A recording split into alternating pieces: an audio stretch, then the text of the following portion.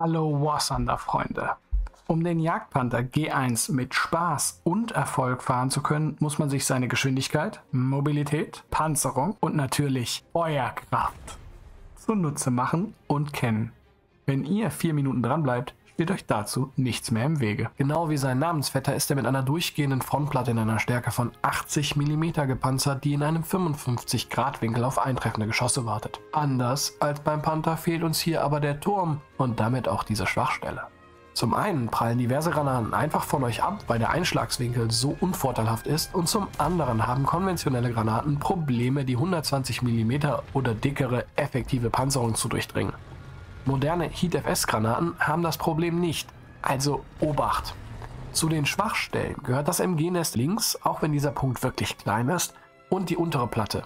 Wobei alles, was da durchkommt, in der Regel vom Getriebe absorbiert wird. Nur fahren ist dann halt nicht mehr. Mit einem Gewicht von 46 Tonnen und 600 PS kommt er auf 13 Pferdestärken pro Tonne und ist damit so mobil wie der Panther. Ehrlich, 46 km/h vorwärts und leider auch 4 km/h rückwärts.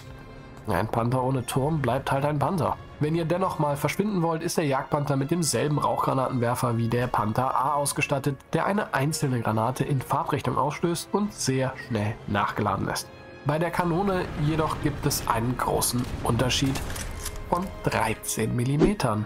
Denn der Jagdpanzer ist mit der langen 8 Kampfwagenkanone 43 ausgestattet, die für den Tiger 2 entwickelt wurde und zwischen 9,7 und 7,5 Sekunden nachgeladen ist.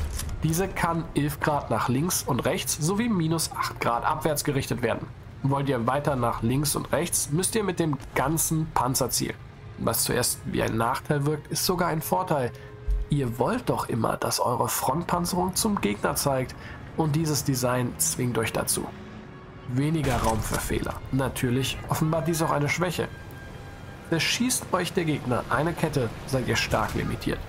Ihr könnt zwar mit einer Kette den Panzer immer noch drehen, jedoch dauert das zu lange und exponiert eure Seiten.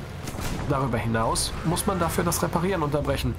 Es ist eine traurige Situation. Glaubt mir einfach. Bei der Munition steht euch die bewährte Panzergranate 39 sowie die Panzergranate 40 zur Verfügung, falls ihr mal durch was richtig Dickes durch müsst. Ferner habt ihr Sprenggranaten sowie Hohlladungsgranaten mit einer Durchdringung von 110 mm im Arsenal. Es ist eng im Jagdpanther. Eure Besatzung sitzt eng gedrängt und die Munition ist in vier Magazinen an den Seiten.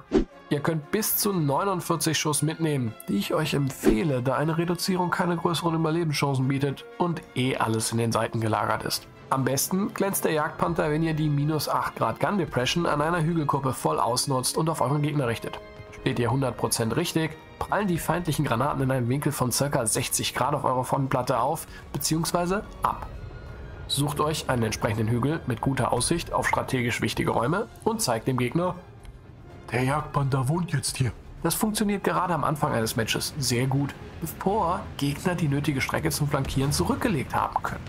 Noch besser, wenn ihr genau diese Laufwege ins Visier nehmen könnt. Verpasst nur nicht den Moment, wo die Mieterhöhung zuschlägt. Das tut dann weh. Ich mag den Jagdpanther.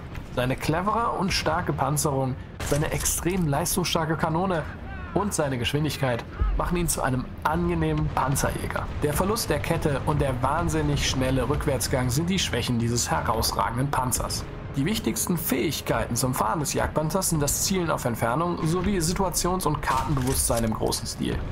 Wenn ihr darüber ein eigenes Video von mir haben wollt, schreibt es gerne in die Kommentare. Man schießt sich, Peregrin Ende.